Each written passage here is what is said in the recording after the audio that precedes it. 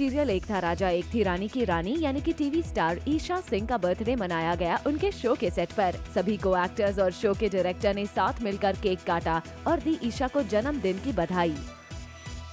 बहुत अच्छा लगा एंड मुझे बीच में फील हो रहा था कि मेरे बर्थडे के लिए एक्साइटेड नहीं है।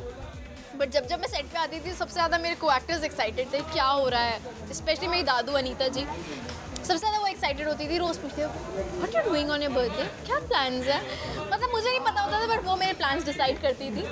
सो so, बड़ा स्पेशल सा टाइम होता है ये मंथ का एंड बहुत वेट करती हूँ मैं इसके लिए। So I am very happy and thanks to you guys यार For all the Garma Garam Bollywood gossip news and more, download the Zoom app now.